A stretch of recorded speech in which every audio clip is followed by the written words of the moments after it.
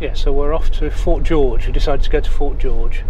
Haven't been there for a little while. Well, actually, we have about three years ago, wasn't it? But three, yeah. I don't think we ever filmed oh, for YouTube anyway. Well, I think we included it in um, that Throwback Thursday from Scotland 2016 Oh right, yeah, when we were still attempting to Sony. film with that Sony camera. Yeah, And we took took mainly photos then. Yeah, So I think that's the last time we went there. yeah. So, In four and a half miles, turn left onto B9090. No. oh,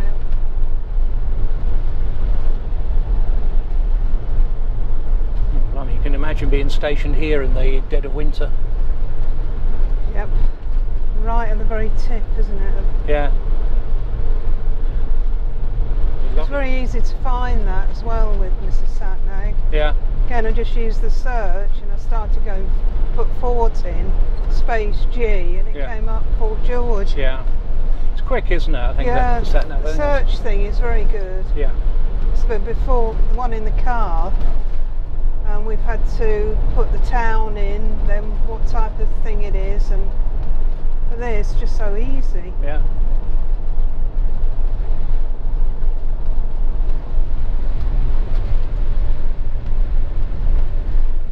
Arriving at Fort George.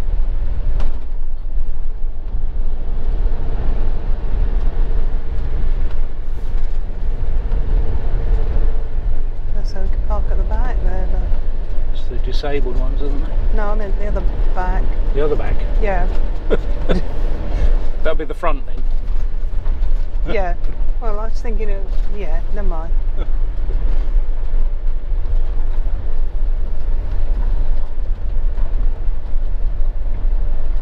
Okay. Poppy's all all set. Not the best weather, is it? Now like a steady drizzle really. yeah.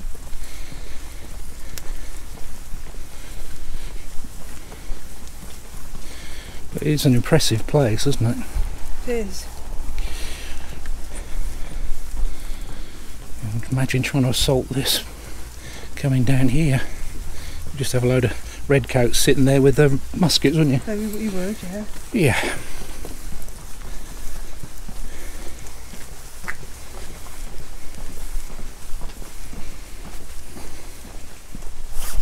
One can in between us.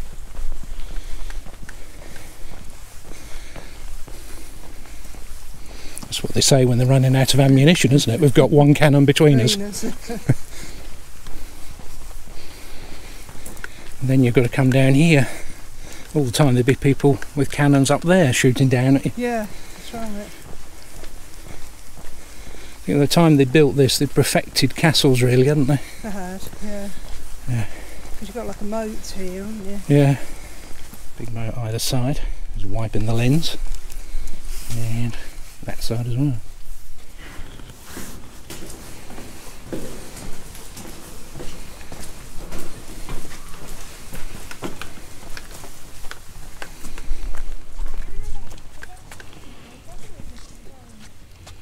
That's the model of it. That's right, to put this on. We've come in at the far end, haven't we? So this is the main approach to the fort. It Originally had two drawbridges, one in front of the main entrance and at the far end the second three spans from the Ravelin. The latter was reconstructed in 1980, taking the mask off from the original drawings. So there's a, some exhibitions they've got on today. Yeah, that's so right. Yeah. so uh, he's pointed out a couple of things for us. That's the mask. Yeah, it's a good one, that isn't it? Yeah. Yeah, so you can see the massive counterweight on here. Yeah.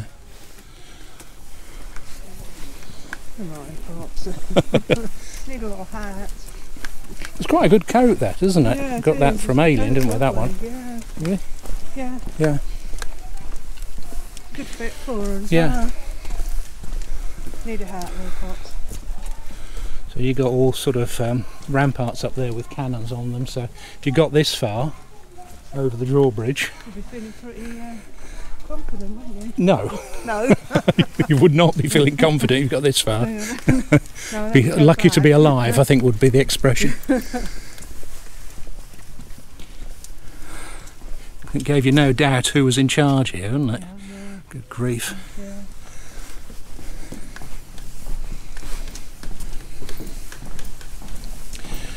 I mean, it really was a castle of occupation, wasn't it? It was the principal gate. You've got England impaling Scotland in the first quarter, France in the second, Ireland in the third, and Hanover in the fourth. It's ironic that the arms of Scotland are wrong. Wrong.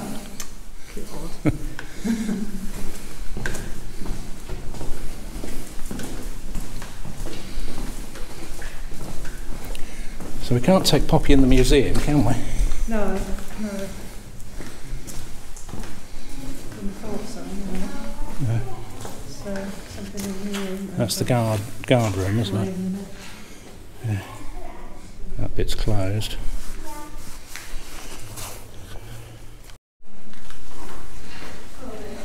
I thought this was we are going to check in or something, but Looks very important, doesn't it? yeah, it's a bit busy there, isn't it? So this is the guards' room. isn't it? Yeah, soldiers' guards room. yeah, didn't have much privacy, did they? No, comfortable beds. Yeah. Right, so the bare patches on the wall of this room are a result of removal of loose and defective paint. They're going to repaint that once they're satisfied the walls are dry and free from the effect of salt crystallisation. Yeah, you can see it, can't you? Yeah.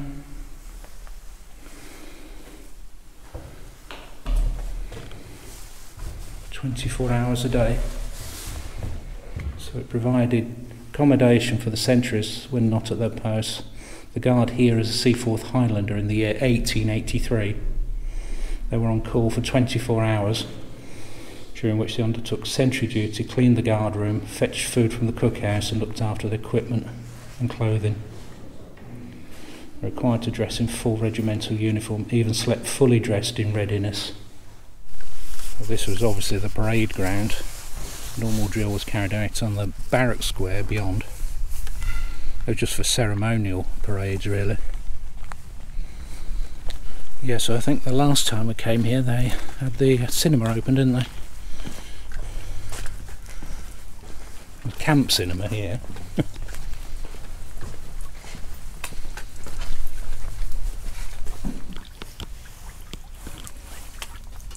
Yeah, so the exhibition is closed, but you can download the f- film or the Black Watch.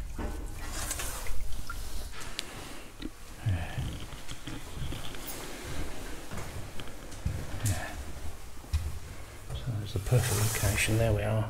There. Okay.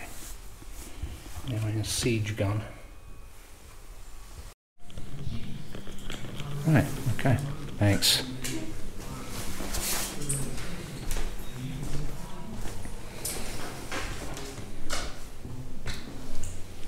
Some of the uh, regimental pictures.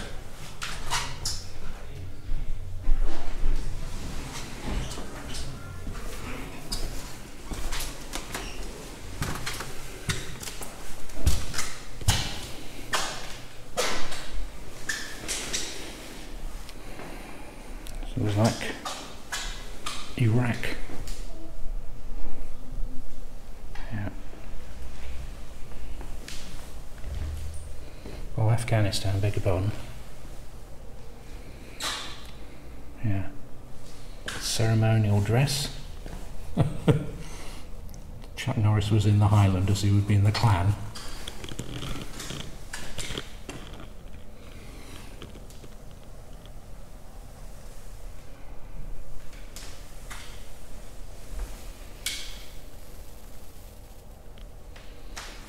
It's the multi-terrain pattern uniform.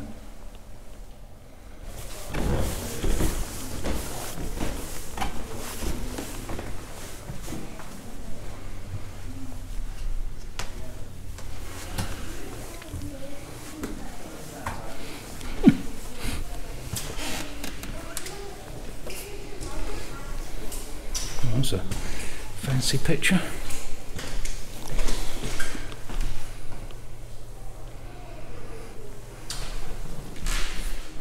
is Lord Seaforth. Things from the Battle of Magersfontein in 1899, the outbreak of the Boer War.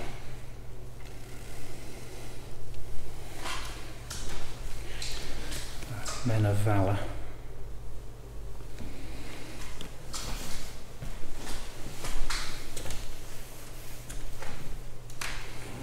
All the medals.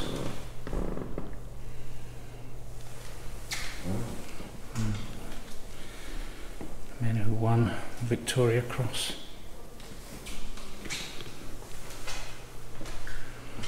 And that's the relief of Lucknow.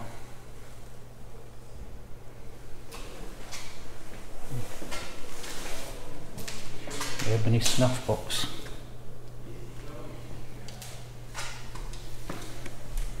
Victoria Cross was formally introduced by Queen Victoria 29th of January.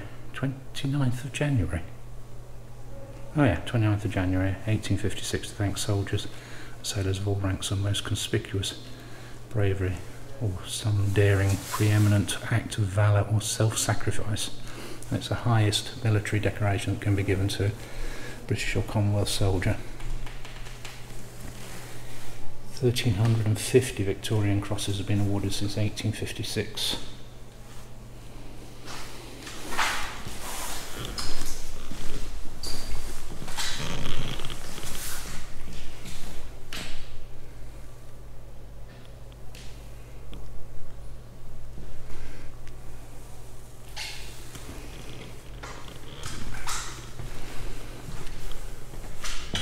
So the Seaforth Highlanders formed in 1881 by the amalgamation of two earlier regiments. Seaforth's Highlanders saw service across the globe, yet it was in India, key to Britain's empire. They made their fighting reputation.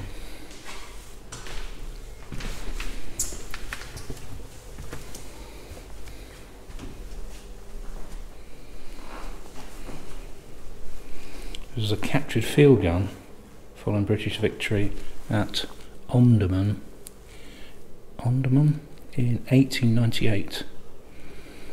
Uh, uh, captured by the Sudanese forces of the Mahdi following the defeat. The Egyptian force led by Colonel William Hicks at the Battle of Shekan. The gun is a seven pounder.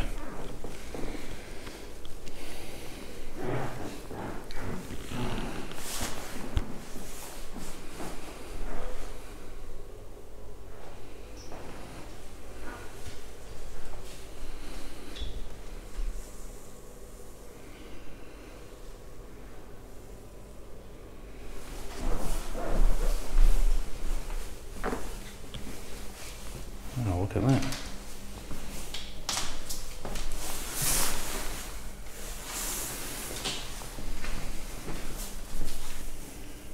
That's the Bannockburn Challenge Shield, a shooting trophy. That's quite something. The Highlanders kit, 1793. It's a return book of the 2nd Regiment North British Militia. Official record of the regiment's service includes enlistments, discharges, and travel arrangements. Uh, Lovat Scouts was one of the most remarkable regiments in the British Army. Distinct, distinct skill, uh, origins, skills, and character have been a major influence on modern warfare. So it was really about guerrilla warfare. Uh, People, they needed people who were skilled in reconnaissance and fieldcraft who act, could act as scouts. Oh, that's the Lovat Scouts engine. See that?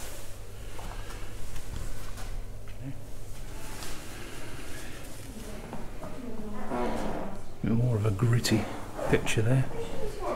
Neuve Chapelle. Hill 70. It's headquarters flag of the 7th Battalion Highland Ca- uh, Cameron Highlanders flown during the Battle of Loos.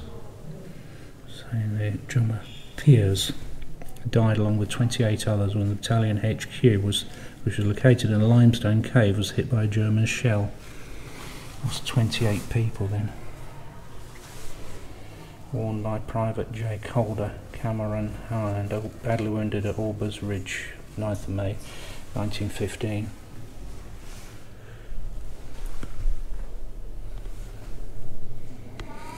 There's German propaganda removed from no man's land in Belgium by the Cameron Highlanders.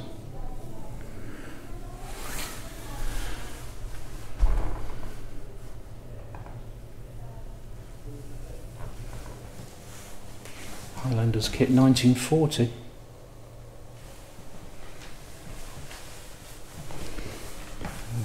Into the Second World War now, obviously. Vehicle pennant taken from the German artillery commander at Le Havre. September 1944. I'm saying that the 51st Highland Division gained an almost legendary reputation in one of the British Army's elite battle formations, drawn from Highland reg- regiments. Division upheld tradition Highland warrior and provided a potent symbol for Scotland in a global war. Obviously, some of the things taken from victory in Europe 1945. German rifle cleaning kit there. Piece of Adolf Hitler's desk removed from the bunker by Lieutenant Colonel Richard Broad MC. Desk had been broken into pieces by Russian soldiers in May 1945. Japanese flag captured on the Kohima to Imphal Road by Cameron Highlanders in 1944. So there's the Middle East and North Africa and Sicily. Battle bulletin. A lot of these are obviously donated by people. This is Burma, Imphal and Kohima. So many medals. The Liverpool Scottish Regiment. Formed in Liverpool in 1900, this volunteer unit was recruited from Scots living in the city and became part of the territorial force as a 10th Scottish Battalion. King's Liverpool Regiment, although a link had already existed with the Cameron Highlanders. Piping medals.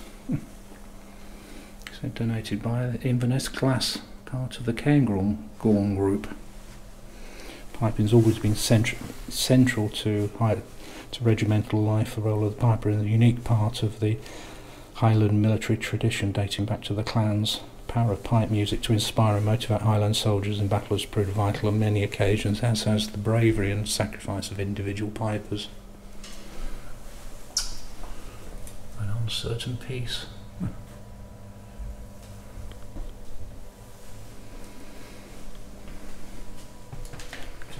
County Fermanagh.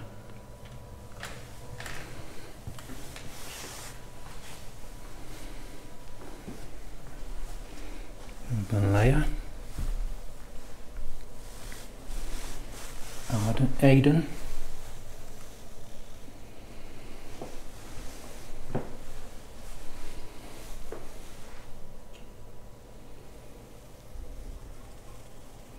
A lot of uh, soldiers started coming home with uh, Britain's diminishing empire,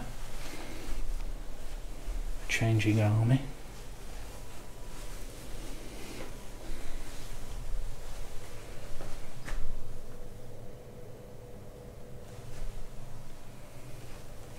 Sporting medals. So in the late 1950s, plan for the future size and shape of the army led to a reduction in the number of infantry regiments, Seaforths and Camerons were one casualty of the process. And they were amalgamated into, to form the Queen's Own Highlanders. New regiment had one regular battalion.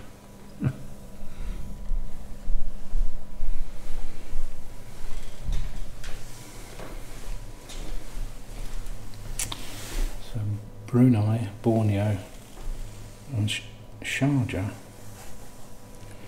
an Iraqi assault rifle taken by the Queen's Own Highlanders in the Gulf War. Northern Ireland suit. Did eight tours in Northern Ireland.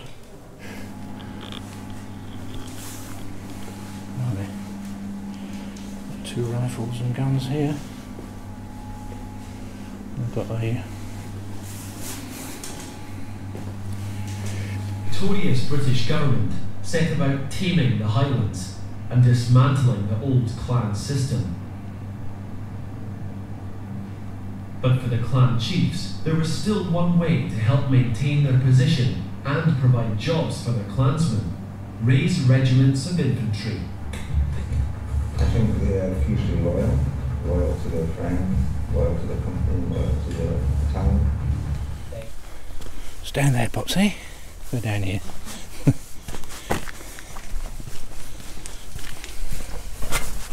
It's a bit slippy there, Jen. Watch it. Hey, what's in here? Obviously, I'm out of the rain.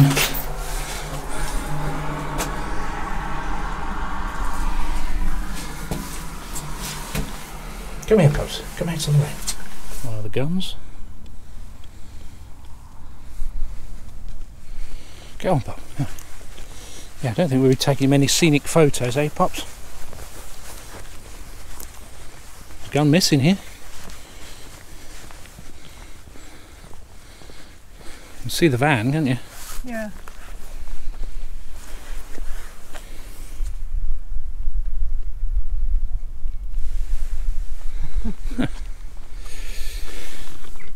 Yeah, so this is the Prince of Wales bastion. It says a raised area at the outermost corner of the bastion was long range was a long range battery. It's four heavy guns fired over the parapet and the outer defences towards enemies marching along the peninsula and towards ships approaching from your right There. over there. On the far left, guns five guns could fire through gaps in the parapets to protect to cover the ditch that protected the ravelin, the triangular stronghold below the rampart.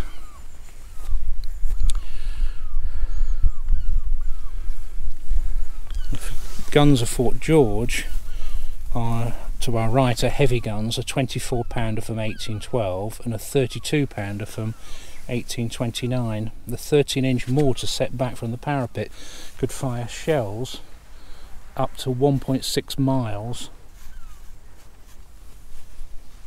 And the two lighter guns on the left are six pounders, one from 1797 and the other from 1800, both on loan from the Royal Armouries.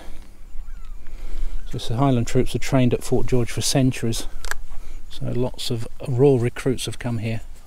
Yeah, you can sort of see what they could have fired on. People crossing that bridge.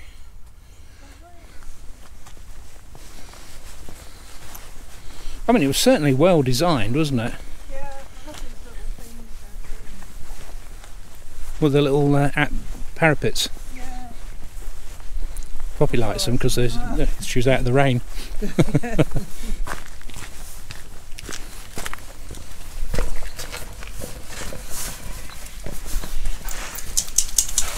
can look out there, can't you, Pops? Well, you can't. I can.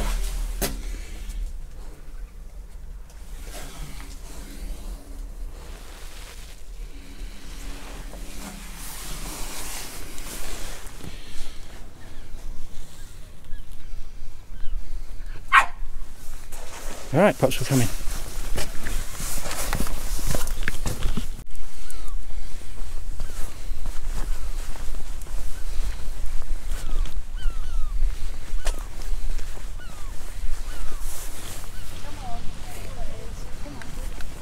Come on, monkey.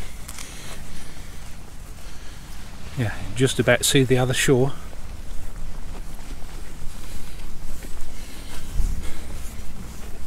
It says the graves of Bobby, Scotty, Jock, and 23 other dogs lie in the place of arms just down there. Did you see it? Yeah.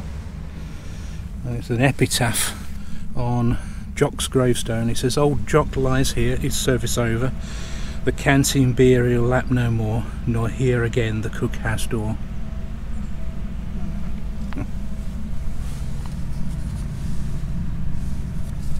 So this is Prince Henry Frederick's Bastion from the inward side, facing side of the bastion. Cannons could provide flanking fire along the rampart to halt an assault.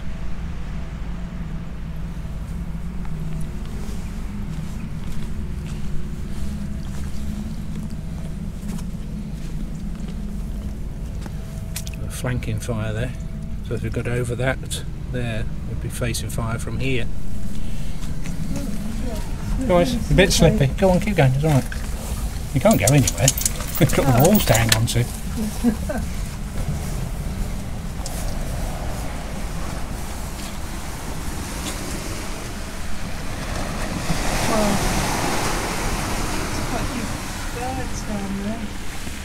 Oh yeah, yeah.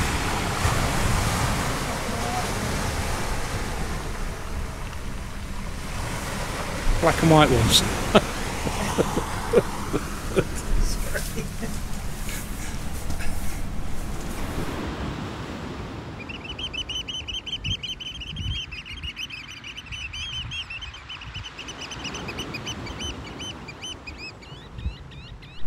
my bit of bird watching.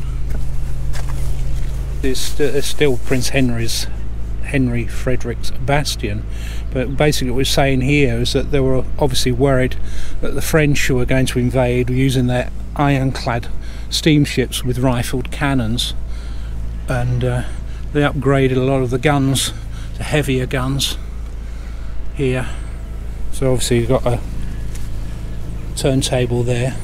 But the interesting thing was they were saying that at the same time, whilst they were doing this in eight, 1860s, in 1865 during the American Civil War, a squadron of Union ironclad gunships bombarded the uh, Confederate stronghold Fort Fisher in North Carolina. It says the power and accuracy of the latest naval guns swept the ramparts clean of cannons and defenders, paving the way for a successful ground attack. So, Fort Fisher was obviously very similar to this sort of fort, you know, which they thought was impregnable. Yeah. So they soon found out that it wasn't. Wasn't, How warfare changed. yeah. So you, you think about it, this is probably one of the last castles, really, isn't it? Mm, yeah, yeah. They call it a fort, but George II's fourth grandson. Yeah. Frederick. yeah. So this is the th- three guns of the coastal battery installed 1860. Destroyed the four original central gun embrasures. Beside the gun mountains are expense magazines and shot and shell recesses. Behind you and close by the bastion were the garrison workshops.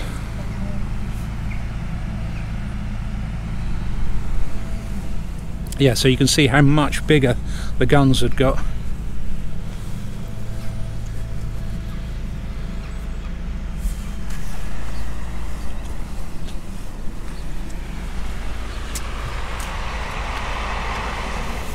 Yeah, so here's the garrison chapel. Careful there, Pop. Sudden drop there, Pops, don't go down there, be careful. So I don't think we've ever have we walked up this far? I think I do remember that chapel. Yeah, I don't think we've ever been in it, so No. I'm running low on um, space on my memory card. Yes, this is a regimental chapel of the Seaforth Highlanders and the Queen's Own Highlanders, Seaforths and the Camerons.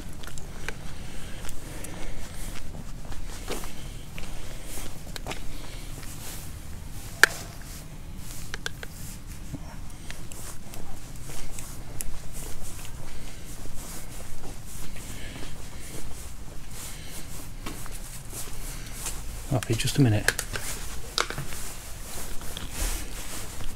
Yeah, so here we are inside the chapel.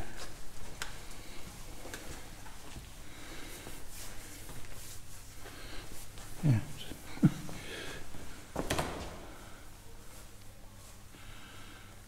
Like a balcony above.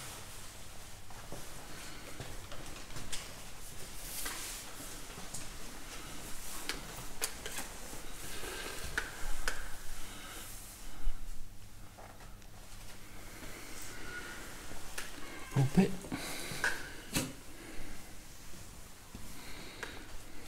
Bless you.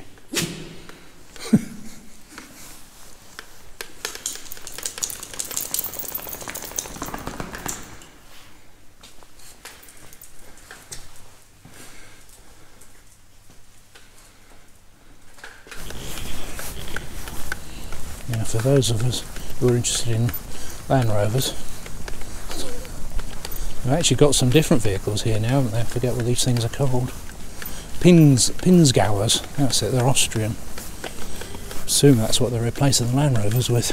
Yeah, that's it for a little visit to Fort George. No, it's good. Sun's just starting to break. and it's Come out now. raining now. Yeah, And it stopped raining. yeah.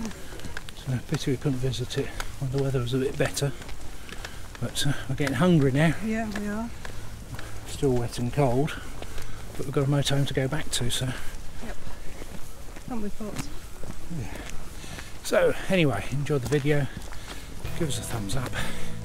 Remember to subscribe if you haven't already. Hit the notifications icon and you'll get an update when we release another video. So I will catch up with you soon.